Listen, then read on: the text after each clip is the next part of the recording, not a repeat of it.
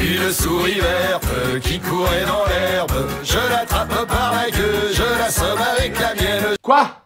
Ah non mais là il y a pas de vanne là Là je kiffe vraiment premier degré Même si je sais que certains en voyant le titre de la vidéo se sont dit Oh putain il va faire le beauf, il va se foutre de la gueule de Patrick Sébastien non, non, non. Oui, c'est possible de kiffer Patrick Sébastien en ayant moins de 50 ans. J'en suis la preuve. Et je suis pas le seul. Ne vous inquiétez pas, je vais tout vous expliquer. Au début, j'étais un peu comme vous. Hein. Je considérais Patrick Sébastien comme un énorme beauf qui animait les samedis soirs des retraités qui n'avaient comme bonne compagnie que la télévision ou une femme ou un mari trop vu ou qui animait les fêtes de village et les mariages dans le trou du de la France. Et puis un jour, j'ai eu une révélation et je me suis dit et si les trous du de la France, c'était pas une position géographique, mais nous nous, nous les autins, ceux qui jugent, ceux qui mettent les gens dans une case. Vous, les ronds de cuir. Où est la caméra Vous, ronds de cuir. Tiens, d'ailleurs, lui aussi, je le kiffe, mais bon, là, on n'est pas sur sa vidéo. Pour moi, à la base, je vous l'ai dit, Patrick Sébastien, c'était un gros beauf qui animait des émissions, faut l'avouer, qui étaient géniales quand j'étais petit dans les années 90, comme Ozon, Le Grand Bluff, et quelques années plus tard, La Merveille de l'autre côté du miroir. Alors, évidemment, j'en suis pas venu à kiffer pas de seb comme ça du jour au lendemain, comme par magie, en regardant 2-3 émissions. Hein. Je vous explique en détail comment ça s'est passé. Alors, c'était pendant un été, il y a 10-15 ans peut-être, et moi, l'été, je partais souvent en vacances dans le sud avec mes potes. Et moi, pendant les vacances sur la plage, j'aime beaucoup lire. Bon, le reste de l'année, je lis aussi, mais plutôt des mangas et des comics. Mais l'été, sur la plage, je me lâche. J'achète 4 ou 5 livres et je les fume. Et cet été, j'avais acheté Guerre et paix de Tolstoy et 1984 d'Orwell. Non, non, je déconne, j'ai acheté la biographie de Claude François et putain d'audience de Patrick Sébastien. Mais le livre, moi à la base, je l'ai pas acheté pour le lire, je l'ai acheté parce que je suis un gamin. Ça m'a fait marrer de voir écrit Patrick Sébastien et putain en grand sur un livre. C'est génial, Patrick il est génial, il met putain sur un livre. Je vais le sortir à la plage, je vais faire marrer mes potes. Voilà exactement pourquoi je l'ai acheté. On se demande bien qui était le beauf à l'époque. Hein. Et je me suis fait parce que je venais de finir la bio de Claude François, qui est génial d'ailleurs, mais ça c'est une autre histoire parce que je suis complètement fan de Claude François. Et là, il me restait plus rien à lire, à part le livre que j'avais acheté de Patrick Sébastien, qui avait fait moyennement marrer mes potes d'ailleurs. Donc j'avais plus que ça à lire et je me suis dit, bon bah allez, je vais lire. Et moi qui pensais que c'était un beauf sans grande réflexion, je me suis rendu compte au fil des pages qu'il lâchait plus de punchline à la seconde que mes rappeurs préférés. Je découvrais un homme sensible, drôle, touchant, on dirait que je suis amoureux de lui quand je parle, mais c'est vrai, je vous jure que c'est vrai. Et en plus, il avait un cœur immense. Et moi, je m'interdisais de découvrir ça parce que soi-disant, il avait une image de gros beauf. Et il faut pas que je lise un truc de gros beauf parce que sinon, on va me juger en gros beauf. Complètement con comme réaction. D'ailleurs, on finira la vidéo en définissant ce que ça veut vraiment dire beauf parce que moi, je comprends pas. Au bout d'un moment, je suis largué. Bref, en attendant, revenons sur Patrick Sébastien, né Patrick Bouteau en 1953 à Brive-la-Gaillarde, en Corrèze. Il a grandi à Juliac plus exactement. Et franchement, j'y suis jamais allé de ma vie. Je sais même pas où c'est sur la carte, mais à force de l'entendre parler de Juliac, je sais exactement comment c'est quelle odeur ça a, quel aspect ça a. Tu vois, pas besoin de voyager, des fois juste des mots et puis t'y es.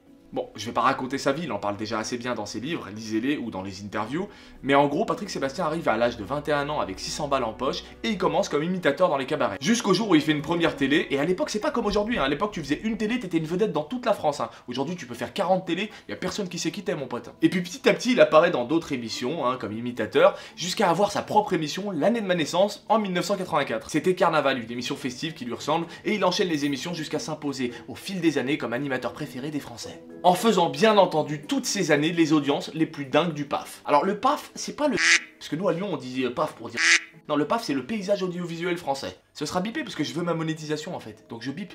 Tu vois, regarde là je peux dire des trucs, ce sera bipé parce que je veux gagner de l'argent. Regarde. Ah Tu vois, c'est bipé. Comme ça je gagne de l'argent, mais si tu lis sur les lèvres, tu vois bien que j'ai dit ah Bon, en gros, là, j'accélère grave dans l'histoire parce qu'il faut avancer, on n'est pas sur sa biographie. Il y a quelqu'un, un jour, qui a décidé que tous ces Français que Patrick Sébastien faisait kiffer tous les week-ends, eh ben, c'était des has C'est terminé, c'était des ringards, des beaufs. Et que des beaufs à la télé française, on n'en veut plus. Allez au salon du tuning, faites des apéros entre vous, publiez des dauphins et des chats avec des trucs qui brillent sur Facebook, mais venez pas nous casser les couilles à la télé. Oui, parce que les beaufs, ça coûte cher à divertir. Tiens, il faut des paillettes, il faut du strass et tout. Tu sais combien ça coûte une chinoise qui jongle en string? Alors que les gens intelligents, bah, tu mets une table, euh, trois qui font un débat et puis c'est bon. Non mais c'est vrai, ça coûte trop cher. Aujourd'hui, on veut des émissions de débat de merde qui coûtent que dalle. 5 autour d'une table, 4 tabourets Ikea, et puis allez, vas-y, on monte les Français les uns contre les autres, on les énerve, et puis on fait de l'audience sur de la malveillance. Malheureusement, c'est tout le contraire de ce que prône Patrick Sébastien depuis le début, la bienveillance. Et on est dans une époque où la bienveillance... Tiens mon fils, regarde comment c'est beau, c'est la bienveillance là-bas. Elle se fait enculer par notre époque. Oh, merveilleux. Voilà un mot qui définit parfaitement Patrick Sébastien, la bienveillance. Et je dis ça en ayant lu tous ses livres. Hein. Je les ai tous. Enfin, il y en a encore à Lyon là, mais ceux-là, c'est ceux que j'ai à Paris. Regardez. Évidemment, dans le public franchouillard qu'a Patrick Sébastien, il y a forcément des bons gros racistes qui n'ont jamais quitté leur village et qui me kifferaient pas du tout. Mais ça, c'est pas de sa faute à lui, ni de son discours. Dans tout ce que j'ai lu, j'ai jamais vu un mot raciste de la part de Patrick. hein. Et puis moi, les cons, je les préfère largement quand ils s'émerveillent devant un jongleur de Pékin, trois contorsionnistes d'Iran ou qui dansent bourrés sur des sardines. Plutôt que quand ils nourrissent leur haine devant un c à lunettes et cinq chroniqueurs qui font qu'alimenter ses peurs dans des émissions de débat de merde. Bref, je vous l'ai déjà dit, je suis pas là pour vous faire la bio de Patrick, mais c'était juste pour montrer à quel point on peut être bête des fois. Parce que c'est pas notre univers, notre génération, qu'on trouve ça ringard, on s'y intéresse Alors que quand on met la tête dedans, et ben au final, on s'aperçoit que ça nous ressemble beaucoup plus que ce qu'on pensait. Parce que moi, à la base, je suis à des années-lumière de Patrick Sébastien, hein, grandi en foyer, bercé au rap, au film de Jackie Chan, au film de Van Damme. Et puis en lisant, je me suis rendu compte de nos points communs. Déjà, la nostalgie, je vais pas vous mentir, c'est un grand nostalgique. Comme moi, vous l'avez vu sur ma chaîne. Et quand il raconte son enfance, et ben ça me rappelle bizarrement la mienne, que j'ai moi aussi raconté dans cette formidable bande dessinée qui s'appelle Comme on peut, qui est disponible de partout, qui est dessinée par Lenny Malky, et dont je suis hyper fier. Je ne dis pas de tout mon travail, mais ça, c'est vraiment, vraiment très très bien. Parce que moi aussi, j'ai grandi à la campagne. Bon, c'était pas en Corrèze, c'était en Haute-Loire. Bon, pour en savoir plus, faut acheter cette formidable BD qui est disponible de partout. Merci pour tous ceux qui l'ont déjà acheté, qui m'ont fait des retours de ouf, je vous aime encore plus. Quoi? Moi, je fais de la pub pour ma bande dessinée à chaque vidéo? Ouais?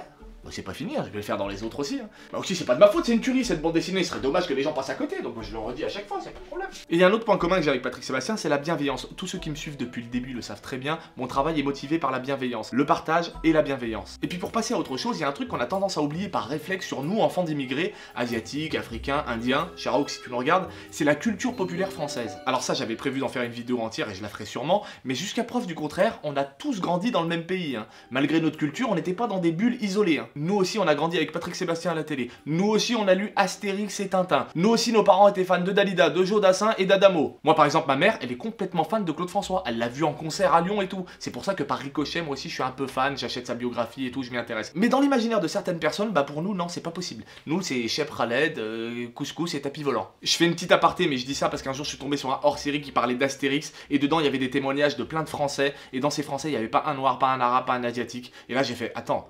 Nous, la culture populaire, on pue du Non, nous, on n'a jamais lu ça de notre vie. Et puis derrière, je suis allé vérifier sur plein de trucs et j'avais raison. Par exemple, sur des reportages sur les yéyés, Claude François et tout, ils interviewent des gens, mais il n'y a jamais un asiatique, jamais un noir, jamais un arabe. Alors c'est peut-être pas méchant, c'est peut-être pas raciste, mais c'est fait par réflexe. Alors que non, même à l'époque, les enfants d'immigrés de première génération étaient complètement fans de ces personnes aussi. Bref, ça mérite une vidéo, j'ai déjà commencé à l'écrire, je la ferai quand j'aurai envie d'être relou.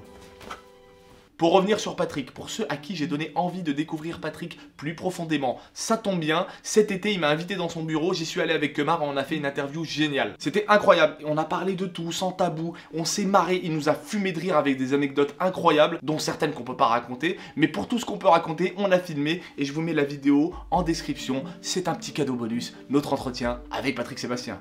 Et surtout, je n'ai pas de complexe de supériorité sur qui que ce soit. Ça veut dire que dans cette pièce-là, il y a Sonny, mon pote, on est quatre.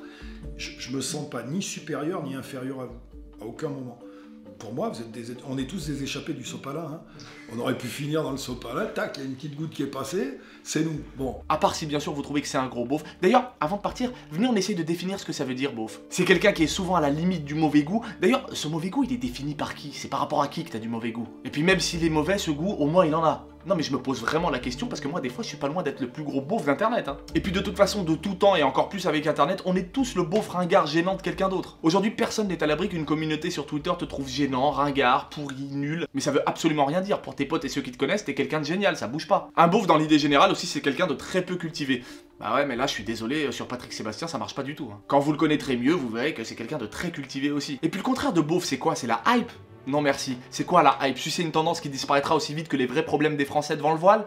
Non merci. Sauter sur la tendance d'après dans un mouvement de foule en ayant peur d'être isolé si on le fait pas? Non merci. Être constamment dans la crainte du jugement, calculer, avoir peur, être blême? Non merci. Je préfère largement être un beauf qui est souvent en famille, entre amis, fait des barbecues, jouit des plaisirs de la vie, danse sur du pas de en faisant des doigts, se foutant complètement du regard de la plèbe, qui est à être gênant, oui, parfois.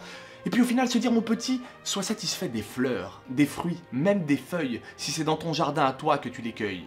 Puis s'il advient d'un peu triompher par hasard, ne pas être obligé d'en rien rendre à César, vis-à-vis de soi-même, en garder le mérite. Bref, dédaignant d'être le lierre parasite lors même qu'on n'est pas le chêne ou le tilleul, ne pas monter bien haut peut-être, mais tout seul.